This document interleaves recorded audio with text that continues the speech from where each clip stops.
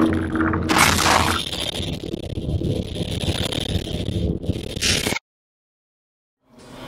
up, what up, what up, East Coast, West Coast, North, South, Worldwide, YouTube family, Sickle Cell Warriors family. Welcome to another episode of Our Sickle Life. My name is Yulis, and today we have a special guest with us, Senator Jane Cordy. Good afternoon. Good afternoon, thank you for being here.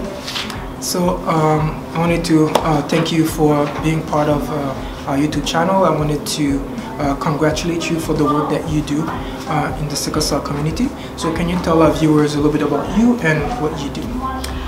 I'm a senator from Nova Scotia and I got involved in sickle cell disease when a number of advocates came to Parliament Hill and they spoke to me. It was um, Minister Kirsty Duncan who brought the advocates to Parliament Hill and she and I spoke with these wonderful people who had come and I heard about sickle cell and the number of Canadians who have sickle cell.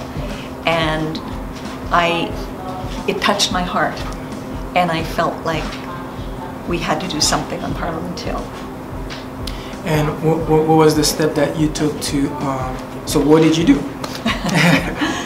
well, we talked a lot, Lanre and I spoke a lot about what had to be done. And when she was speaking to me, of course, there were a whole lot of things that still have to be done.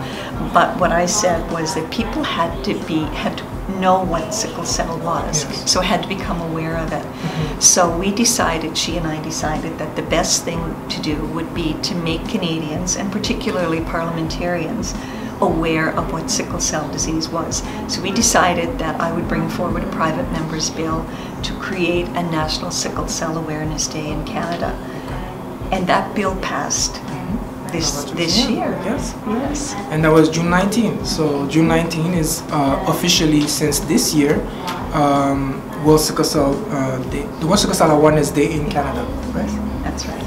And um, so part of that bill, uh, what is the long-term goal for this bill? Well, I think we're looking at it as a first step. What we want to do is make Canadians aware of what sickle cell disease is. It is one of the most common genetic diseases in the world. And with so many people coming to Canada, we're fortunately a very multicultural place.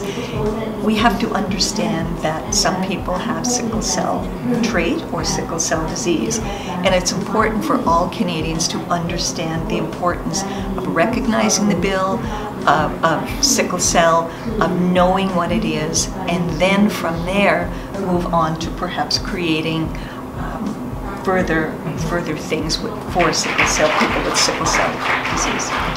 So today we had the uh, sickle cell uh, conference, um, part of uh, SCDAC uh, organizational um, structure. Uh, this year it was done in, in Toronto, and you know every two years there, there's a there's a, a, a international conference.